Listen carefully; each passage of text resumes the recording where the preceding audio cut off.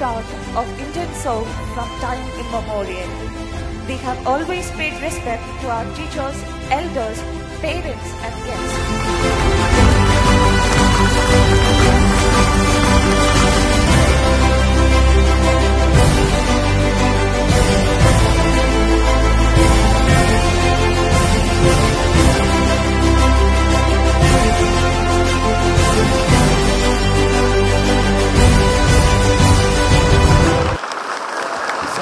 Francis de Sales ಅವರ ಹೆಸರಿನಲ್ಲಿ ವಿಶ್ವ ಪ್ರಕಾ, ಪ್ರಖ್ಯಾತವಾಗಿದೆ.